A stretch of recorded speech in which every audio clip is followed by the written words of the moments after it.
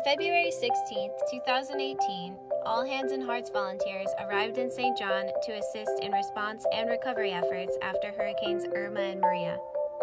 In one year, 476 volunteers and staff have put in over 46,000 volunteer hours, helped 985 residents, impacted 23.5% of the island, and completed 267 response sites, along with nine rebuild sites. To our volunteers and staff, past, present, and future, and to the people of St. John, thank you.